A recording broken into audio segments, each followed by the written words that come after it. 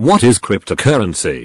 A cryptocurrency is a digital or virtual currency that is secured by cryptography, which makes it nearly impossible to counterfeit or double spend.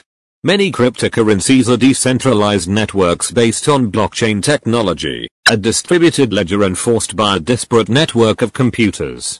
Bitcoin was the first crypto released and it was released as open source software in 2009. This the first decentralized cryptocurrency.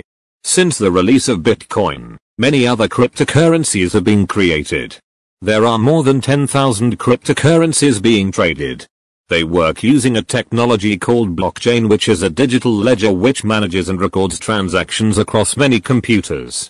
A defining feature of cryptocurrencies is that they are generally not issued by any central authority, rendering the M theoretically immune to government interference or manipulation. A cryptocurrency is a form of digital asset based on a network that is distributed across a large number of computers.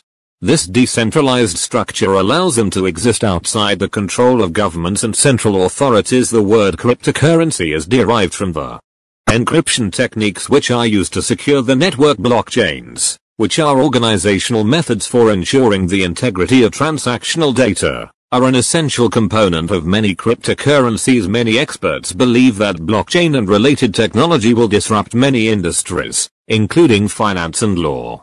Cryptocurrencies face criticism for a number of reasons, including their use for illegal activities, exchange rate volatility, and vulnerabilities of the infrastructure underlying them.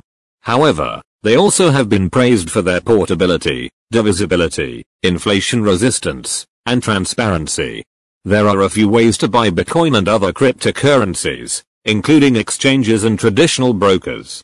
And you need a digital wallet, an online app that can hold your currency. All you need to do is dedicate a little bit of time again if you're at work, instead of watching Netflix on your phone or going on Facebook, maybe take that time and allocate it to educating yourself. And once you kind of understand the power of Bitcoin and what these financial markets are doing it's going to make you look at other things differently.